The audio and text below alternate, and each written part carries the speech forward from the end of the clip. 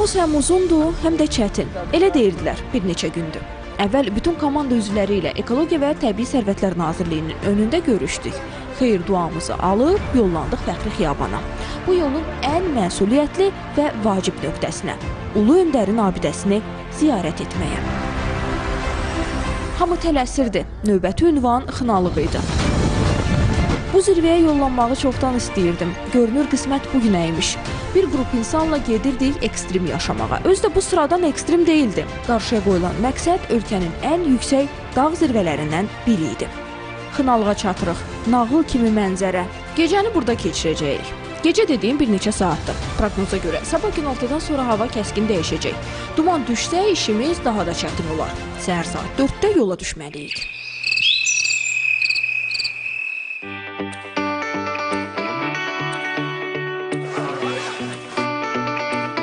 Artıq yola düşməyə hazırıq. Qubanın Xınalıq kəndindəyik. 5000 illik tarixi olan, bax bu kəndə yerli cəmaət kətiş deyir. Bu kənd dəniz səviyyəsindən 2350 metr hündürlükdə yerləşir. Biz isə Heydər Əliyev zirvəsinə gedirik. 3751 metr dəniz səviyyəsindən yüksəklikdə olan. Hazırda isə saat 5-dir.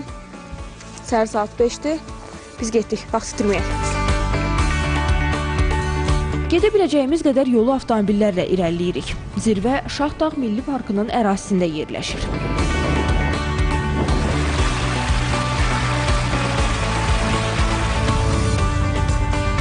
Sonra yol sürüşkən olduğundan bura avtomobillər gedə bilmir. Düşün dedilər. Yolumuz uzundur.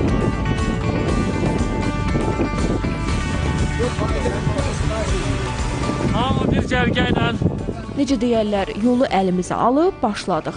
Hələ ki hər şey normal idi. Bələdçilərin mütəmadi şərhlərini, məsləhətlərini dinləyirdik. Hələ çox var deyirdilər. Diqqətli olun. Təxminən 2900 metr yüksəkliyə qalxmışıq. Saat 7:24-dür və hardasa 2 saat yarımdır ki, yoldayıq.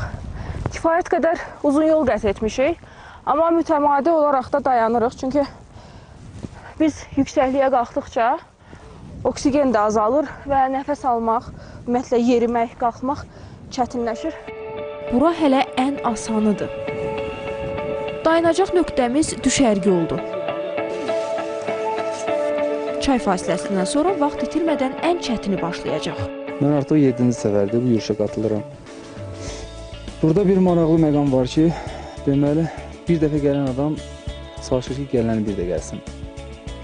Yəni həqiqətən özündən asılı deyil. Çalışırsan ki, bir də gələsən.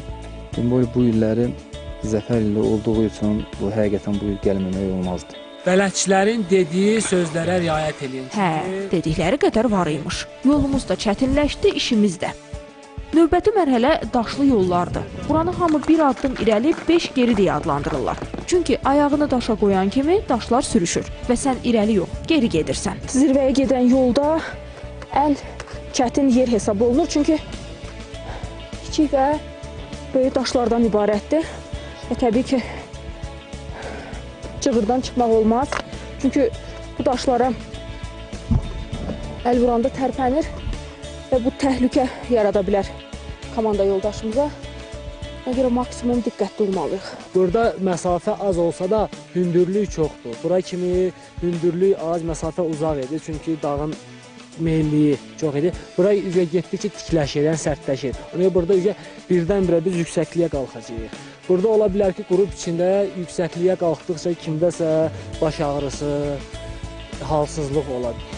Uca dağların əzəməti, möhtəşəmliyi yaxından yox, uzaqlardan daha aydın göründüyü kimi adını tarixə həkk etdirmiş şəxsiyyətlərin də böyüklüyü, əl çatmazlığı onların cisminə yoxluğundan müəyyən vaxt keçdikdən sonra ideyalarının, əməllərinin təntənəsini zaman təsdiq etdikcə üzə çıxır və hamı tərəfindən qəbul edilir.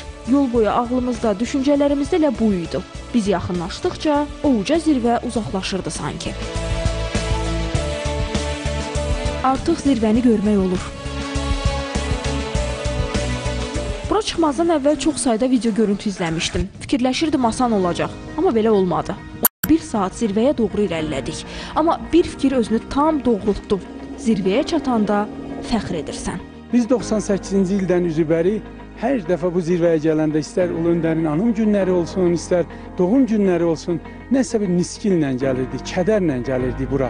Amma bugünkü gəlişimiz tam başqa bir gəlişdir. Biz artıq bura zəfərlə, qələbə ilə gəlmişik.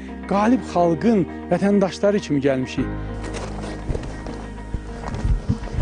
Zirvədəyik. Ulu Öndərin adını daşıyan bax bu zirvədə. Dəniz səviyyəsindən 3751 metr hündürlükdə. Bu yolu həqiqətən də əziyyətlə, çətinliklə gəldik, çıxdıq. Amma Ulu Öndərin Azərbaycan xalqının, Azərbaycan dövlətinin qarşısında etdiklərinin yanında bizim çəkdiyimiz əziyyət, bax bu yol dənizdə bir damcıya bənzəyir. Hörmətlə anırıq. Vəfa Ağabalayeva, Xalid Əliyev, Elbrus Musayev, xəbərlər. Mən həmişə fəxr etmişəm. Bu gün də fəxr edirəm ki, mən Azərbaycanlıyam.